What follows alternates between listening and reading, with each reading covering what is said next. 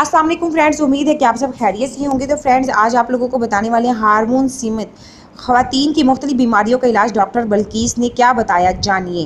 खातन के साथ सेहत से मुतक मसाइल दिन ब दिन ख़तरनाक होते जा रहे हैं और हारमोन्स के निज़ाम में बिगाड़ की वजह से उन्हें बहुत से मसाइल पैदा हो जाते हैं कि जो कि मुस्तबिल में जानलेवा भी साबित हो सकते हैं। इसलिए खातन को चाहिए कि वो अपने अंदर होने वाली हर तब्दीली और तकलीफ़ से मुतक अपने मालिक से ज़रूर मशवरा ले जाए ताकि वो सेहतमंद रह सके। हर्बलीस डॉक्टर बल्कीस के मुताबिक आजकल खातन में पी सी ओ एस की बीमारी बहुत आम हो गई है, जो कि हारमोन्स की ख़राबी की वजह से होती है। जिसकी वजह से सबसे बड़ी वजह गैर मतवाजन गज़ा है, क्योंकि हम जो हम खाने खाते हैं, वही जिसम पर असर नज़र आते हैं।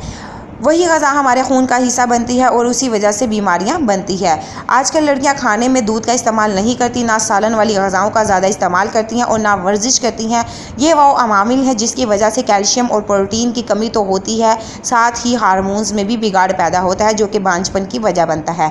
नंबर वन टिप्स इस मसले का हल बताते हुए डॉक्टर बल्कीस ने एक टिप्स भी बताई है। ख़वान को चाहिए कि मेथी का इस्तेमाल ज़्यादा करें, चाहे खाने में खाएँ या कहवा बनाकर पिए, क्योंकि हारमोन हारमोन्स के अदम तोज़न की वजह से ही बांझपन दूर होता है, क्योंकि हारमोन्स के अदम तोज़न की वजह से ही बांझपन पैदा होता है और मेथी में हार्मोनल अनाइज़म्स पाए जाते हैं जो इस मसले के हल में मुफीद होते हैं। नंबर दो, इस हवाले से एक और टिप्स बताते हुए उन्होंने कहा है कि मखसूस याम में बेकायदगी भी अगर हो जाए तो ऐसी खातन बैंगन का इस्तेमाल करें। इसके अलावा जामन के पत्तों का कहवा बनाकर पिए। पी सी ओ जैसे मसाइल को ख़त्म करने और महावरी की पेचीदगियों को कंट्रोल करने में आपकी मदद करते हैं। नंबर तीन पर लास्ट में है, जो खातन अंदरूनी मसाइल की वजह से बेउलाद हैं, उनको चाहिए कि वो मूली के बीज रोज़ाना रात को सोने से कबल नीम गर्म पानी से खाकर सोएँ।